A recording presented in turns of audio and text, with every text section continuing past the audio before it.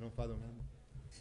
Il capitolo 35 dei Promessi Sposi. Ecco, qui vedete un frontespizio di quella che è l'edizione, se non sbaglio, proprio del 1840, da cui noi abbiamo preso le illustrazioni di Gonin che usiamo per sintetizzare il capitolo 35. Eh. Ecco, giusto, per sintetizzare enormemente, questo è il capitolo in cui Renzo giunge nel Lazzaretto, incontra Fra Cristoforo e Fra Cristoforo gli spiega dov'è il reparto delle donne, perché lui all'inizio non trova eh, il reparto delle donne, quindi non, trova Lucia, però dice stai attento che Lucia potrebbe anche essere morta, quindi eh, la tua ricerca potrebbe essere inutile.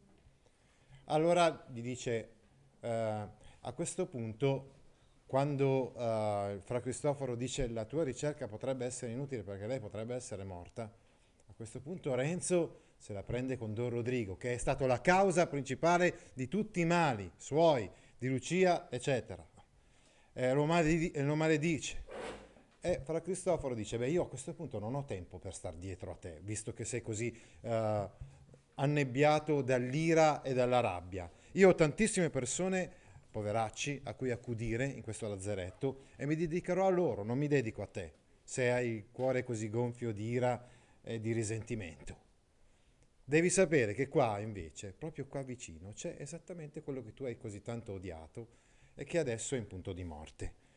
E quindi eh, dice, mh, mm, ah, lo invita, a, una volta che Renzo riconosce di aver sbagliato, lo invita a visitare eh, Capezzale, il letto insomma, di Don Rodrigo Moribondo. E quindi di fronte, di fronte a Don Rodrigo Renzo si pente per le sue parole, preso dalla pietà, perdona il suo nemico.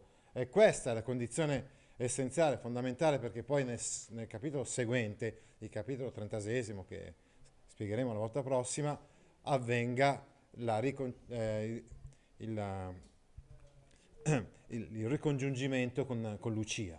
Se non ci fosse stato questo perdono, probabilmente degno, eh, Renzo non sarebbe stato degno di ritrovare Lucia. Ma andiamo per ordine. Cominciamo proprio dall'inizio del capitolo, eh, che è una sorta di descrizione del eh, lazzeretto. In realtà è già stato descritto alcuni capitoli prima, ma eh, vediamo, lo vediamo questa volta dal punto di vista di Renzo, che entra dentro questo lazzeretto e che lo vede come una specie di grande chiostro, un grande cortile, con un porticato, ecco, una fuga di portico, che vuol dire quindi che si intravede tutto un insieme di uh, colonne che, uh, che chiudono un, i lati di questo lazzaretto, no? mentre il centro del lazzaretto è aperto. E come vi ho già anticipato, di fatto questo lazzaretto è diviso in due parti, la parte degli uomini e la parte delle donne. A Renzo capita di passare prima dalla parte degli uomini, quindi di non vedere eh, Lucia. Tuttavia, mentre sta entrando in questo lazzaretto, eh, andava avanti da capanna a capanna, eccetera, gli capita di vedere una scena molto molto particolare. Cioè eh, c'è anche una zona, tra virgolette, dedicata ai bambini, cioè bambini anche, eh, come dire, o loro ammalati di peste, oppure che hanno la madre che si è ammalata di peste, che è morta, eccetera, e quindi sono stati condotti là perché là qualcuno finalmente poteva accudire loro, poteva dar loro da mangiare, erano neonati, poppanti, quindi avevano bisogno di, di prendere il latte e quindi c'erano delle balie, quindi delle donne che anche loro avevano avuto recentemente un bambino, che davano loro da mangiare. Alcune di esse avevano perso il loro figlio, quindi loro, il figlio di queste balie magari era morto, ma loro in maniera altruistica si davano da fare per questi altri bambini, davano da mangiare a questi altri bambini eh, allattandoli al seno. Tuttavia eh, non era sufficiente il latte di queste, erano poche insomma queste donne che potevano dare da mangiare questo latte a questi bambini e quindi erano state prese anche delle capre, erano state portate lì nel lazzaretto anche delle capre perché eh, si prendesse il loro latte da dare, uh, da dare ai bambini. Qui vediamo proprio la scena, giunse in quella un cappuccino con la barba bianchissima, perché abbiamo detto che in questo lazzaretto sono i frati, i cappuccini, che, che lo governano, insomma.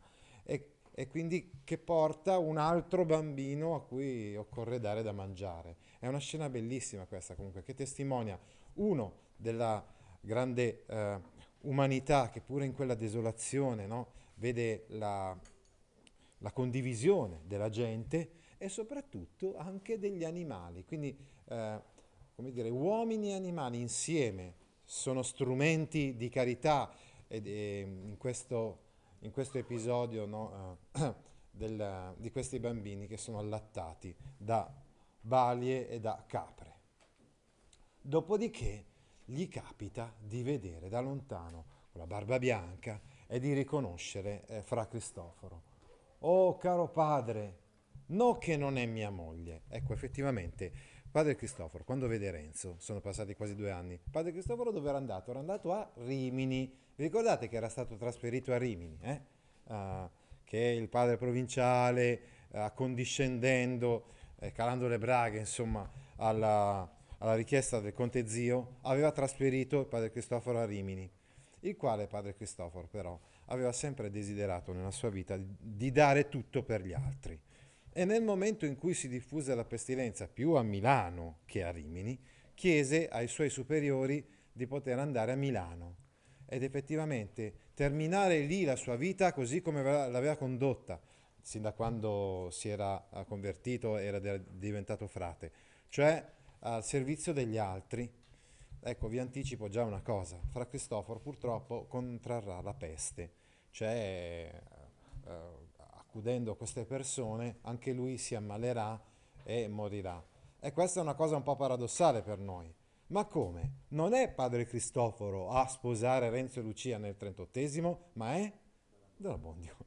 E la cosa è piuttosto strana per noi, perché eh, insomma noi da un punto di vista ideale ci aspetteremmo che fosse padre Cristoforo a sposare Renzo Lucia.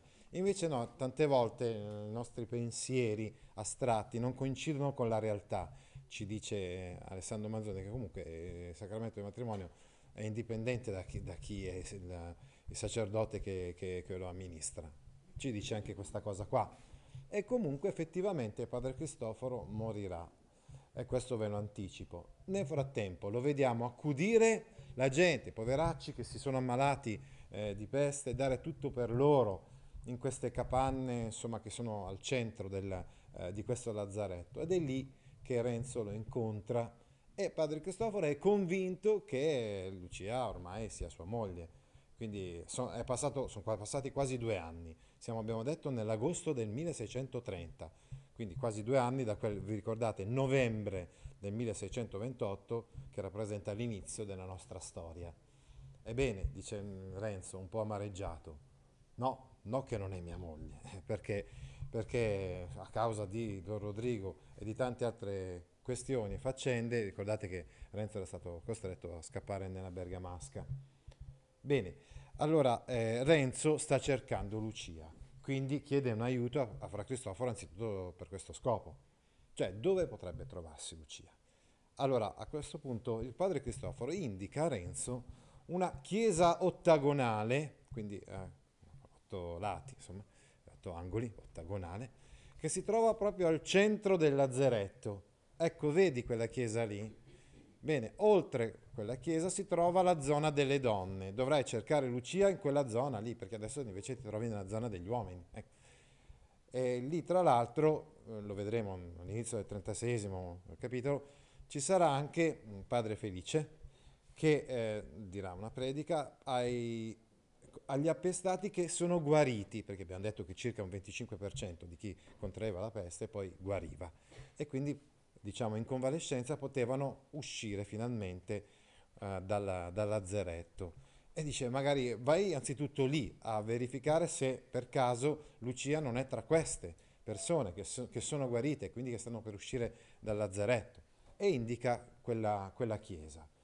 Intanto però Renzo, uh, diciamo così, è, è tutto pieno di rabbia e di livore eh, di risentimento soprattutto nei confronti di Don Rodrigo, perché se non ci fosse stato Don Rodrigo tutte queste angherie non, non le avrebbe dovute sopportare. Lui e Lucia, no? e quindi è davvero molto molto esasperato. E dice se lo incontrassi qua adesso, quel Don Rodrigo gliela farei pagare io, Sa- saprei io cosa fare a, a lui, per fargli scontare tutte, uh, tutti i soprusi, tutte le violenze eh, che, che, che, noi abbiamo su- subito a causa sua. A questo punto il padre Cristoforo dice, vedete la frase, no? Vai, non ho più tempo di darti retta, guarda quanti sono quei poveracci che io uh, sto curando, che io sto accudendo qui in queste tende, infatti c'erano molti appestati, spesso moribondi, no? a cui lui dava da mangiare, eh, che curava, così come gli altri frati cappuccini che erano lì in quel lazzeretto. Quindi non ho da tempo da perdere invece con uno che ha nel suo cuore solamente rabbia e risentimento. E quindi vai pure, eh, che, non, che non, non abbiamo più niente da dirci. A questo punto Renzo però congiunge le mani, vediamo l'illustrazione di Gonin, come implorare il frate e a riconoscere che ha sbagliato, cioè che si è lasciato prendere insomma, da questo sentimento di, di rabbia e che si pente di quello che ha appena detto.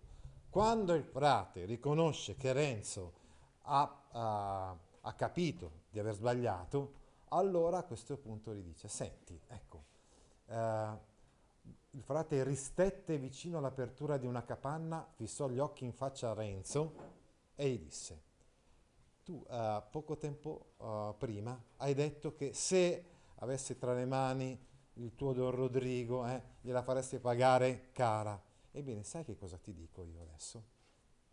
Ti mando, ti, ehm, come dire, ti accompagno da lui, perché il tuo caro Don Rodrigo è qui vicino è proprio uno di quei poveracci che io sto assistendo e si trova in una di queste capanne moribondo, perché come sappiamo noi che abbiamo letto il 33 capitolo, eh, Don Rodrigo ha contratto la peste, è ammalato di peste ed è in punto di morte. Prima un riassunto del riassunto, ho fatto prima un abstract, un riassunto del riassunto, adesso invece sto uh, sintetizzando tutto il capitolo 35. E quindi vedi, tu vedi, disse il frate, eccolo qua, quel Don Rodrigo che, eh, cui volevi così tanto male, eh, cui volevi farla pagare, eh, guarda come è conciato, è davvero in punto di morte. E gli chiede, in un certo senso, di pregare per lui, esattamente come aveva fatto, vi ricordate, alla fine dell'ottavo capitolo, già Lì Fra Cristoforo aveva chiesto a Renzo e anche a Lucia Agnese, che erano lì insieme nel convento di Pescarenico, di pregare per il loro uh, persecutore, cioè di pregare per Don Rodrigo.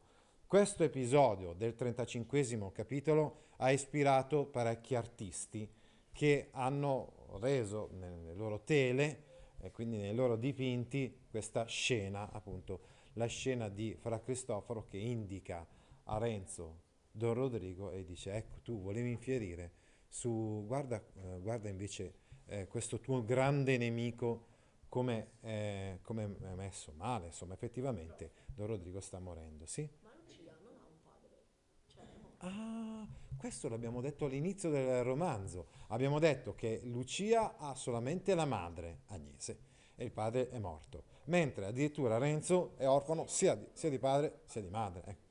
ok quindi siamo arrivati a questo punto, Renzo prega per il suo nemico, per il suo oppressore. Renzo prega per Don Rodrigo. A questo punto, Fra Cristoforo, diciamo, abbraccia Renzo e lo congeda, eh, dice va adesso, ri, ripigliò il frate, in pace, ecco, perché eh, Renzo è sempre un po', ecco, un personaggio dinamico, abbiamo detto un personaggio che impara dalle vicende che, insomma, che gli capitano e che quindi migliora anche in un certo senso, e in un senso cristiano ha capito che la sua rabbia era inutile in quella situazione, in quella condizione.